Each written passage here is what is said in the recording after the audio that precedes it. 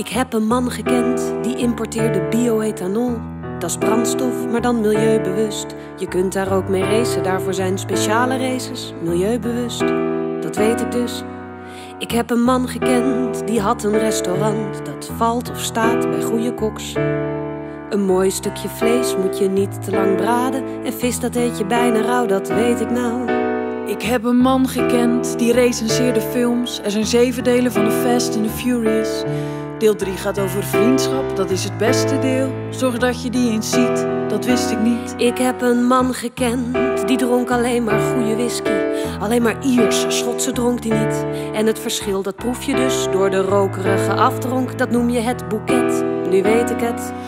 Ik heb een man gekend die hield van camembert. Een wit schimmel van rauwe koemelk. Dat komt dus ook uit camembert, daarom heet het camembert. Het is absoluut niet hetzelfde als brie, dat wist ik niet.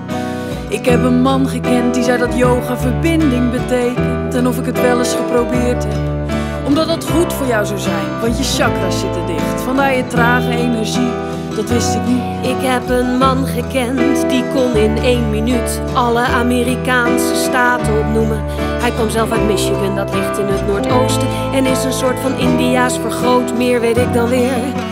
Ik heb een man gekend die zei dat het in Alabama verboden is om een valse snor te dragen. Je mag geen valse snor op naar de kerk, dan maak je mensen aan het lachen. Dus die valse snor die mag niet meer, weet ik dan weer. Ik heb een man gekend die zei dat Mozart eigenlijk Theophilus heette. Dat is Grieks voor vriend van God en in het Latijn is dat Amadeus. Dat heeft hij zelf vertaald, maar hij zei liever Amadee. Dat neem ik mee. Ik heb een man gekend die zei dat Elvis nog leeft in een dorpje